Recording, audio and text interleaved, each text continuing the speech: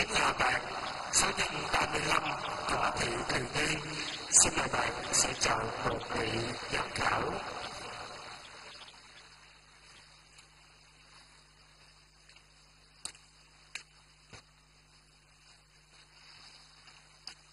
Xin mời nghệ sĩ ưu tú Thanh Thúy.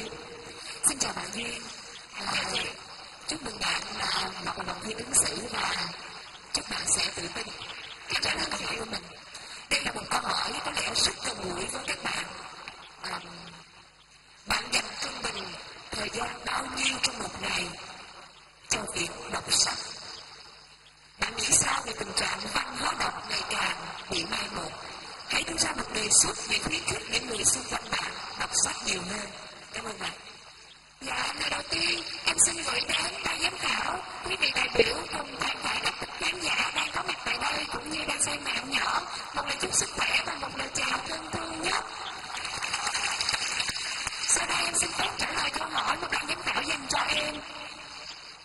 Và mỗi ngày, dù bận rộn và đến mấy thì em dành ít nhất 2 tiếng à, dành cho việc đọc sách à, ngoài uh, lên lớp và sinh hoạt hàng ngày nhưng mà theo em nghĩ thì hai tiếng vẫn chưa đủ à, bởi vì uh, trong cuộc sống tinh thần của chúng ta thì việc đọc sách rất quan trọng uh, giúp chúng ta phát triển uh, khả năng tư duy và phát triển uh, nhân cách của con người uh, em nghĩ uh, tình trạng uh, văn hóa đọc à, đang dần bị mê một do giới trẻ ngày càng thờ ơ với sách vở à, và à, trong cái thời đại công nghệ đang lên ngôi à, các bạn bị cuốn theo các văn hóa nghe và nhìn à, cho nên em nghĩ là à, chúng ta cần dành thời gian nhiều hơn nữa để đọc sách và một đề xuất của em là mở nhiều